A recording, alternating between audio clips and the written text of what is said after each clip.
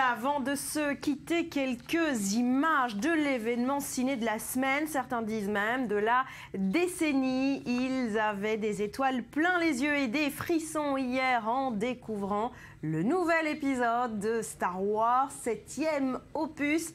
Voilà, tous les objets étaient au rendez-vous. Je vous propose d'écouter quelques réactions de fans qui, vous allez le voir, n'ont pas été déçus. Magnifique, euh, on s'attendait pas, enfin, plein de surprises, euh, c'était époustouflant, des, des sou- des souvenirs qui reviennent, euh, des, plein de choses euh, émouvantes, enfin c'était incredible. Franchement, c'était euh, incroyable. Euh, j'ai adoré. euh, c'était incroyable. Je suis encore, j'ai encore des frissons. Magnifique, merveilleux. Au fur et à mesure des épisodes, je trouve qu'avec la technique, les décors et puis les effets spéciaux, c'est fantastique. On retrouve tous les héros.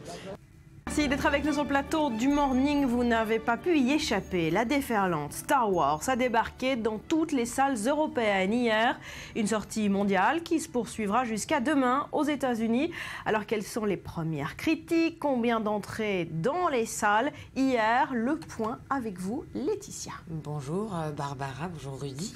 Alors le blockbuster a réalisé euh, à la célèbre séance de 14h 16 415 entrées. Euh, C'est la quatrième position euh, de tous les temps derrière euh, eh bien, euh, le, le Spider-Man numéro 3 euh, qui avait réalisé 27 995 tickets. Euh, derrière Spectre, le James Bond qui avait profité euh, d'avant-première hein, la veille qui lui avait permis de faire 22 510 spectateurs.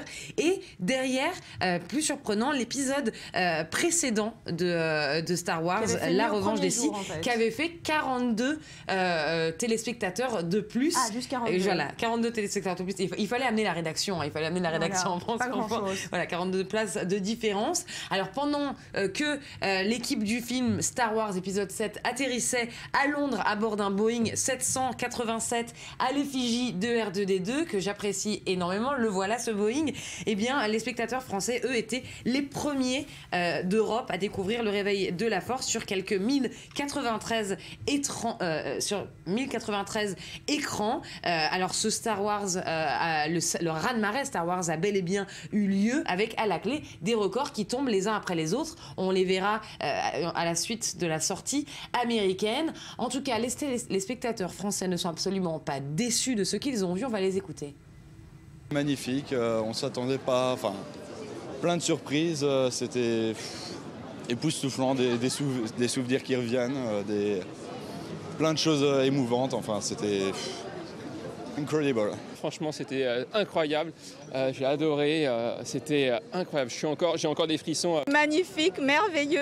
Au fur et à mesure des épisodes, je trouve qu'avec la technique, les décors et puis les effets spéciaux, c'est fantastique. On retrouve tous les héros. Excellent, euh, je m'attendais pas à ça, je pensais que je, pensais que Disney allait pas faire un film aussi euh, merveilleux. Enfin, moi je, suis- sur le cul. Dès qu'on voyait des anciens personnages comme R2D2, euh, Solo, Strapo, bah, tout le monde applaudissait, tout le monde criait. C'était franchement une ambiance euh, magique. euh, vraiment, c'était exceptionnel. Surtout pour moi, c'est la première fois que je vois un Star Wars au cinéma. Voilà, on peut, on peut lire l'émotion sur les visages euh, des spectateurs et non pas téléspectateurs. Laetitia, mais on vous pardonne, vous êtes un peu fatiguée parce que vous aussi, Oui, hein, vous vous êtes pleine ma d'émotions. Vous avez été voir le film hier soir, vous en pensez quoi? Oui, à la séance de minuit une qui a terminé donc aux, alentours de 2h, Ah, vous avez pas dormi 2h45 beaucoup. du matin. J'ai pas euh, beaucoup dormi. C'est absolument fabuleux. C'est une expérience incroyable. C'est vraiment euh, le film de la décennie, euh, selon moi. Et c'est aussi, euh, là, voilà, je, je pose avec euh, Maître Yoda.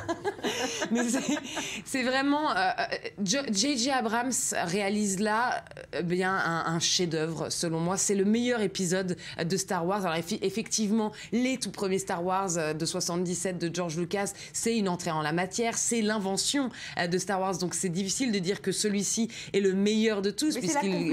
Mais en tout cas, c'est vraiment tellement en cohérence avec l'univers qu'a créé George Lucas. C'est tellement respectueux de tout, euh, de tout ce qui a fait cet univers un, un univers mythique. euh, c'est à mourir de rire, c'est extrême, ça fait pleurer. J'ai peut-être pleuré trois ou quatre fois, bon c'est moi, hein, mais euh, j'ai pleuré trois ou quatre fois euh, pendant la projection. Et ce qui était aussi assez incroyable, c'était la première fois que j'allais non pas à une projection presse, mais une projection finalement la projection grand public, quoi. grand public Ouais. pour les fans, puisque cette projection en fait elle est faite pour les fans à minuit euh, 001.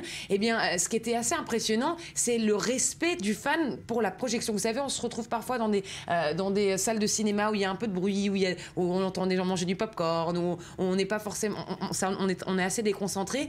Et là, les seuls moments où on était déconcentré finalement, c'était quand les gens se se levaient pour applaudir l'arrivée d'Harrison Ford euh, à, l'écran. point, l'enthousiasme Et un partagé. enthousiasme absolument euh, incroyable. Vraiment une expérience que, qui, est, qui est inoubliable et un film qui, euh, je vais m'allier avec la presse française, qui, qui ne déçoit absolument pas, au contraire, qui, met, qui nous met une véritable claque. Parce que les critiques sont bonnes. hein. Alors les critiques sont, sont euh, pour la majorité euh, extrêmement... euh,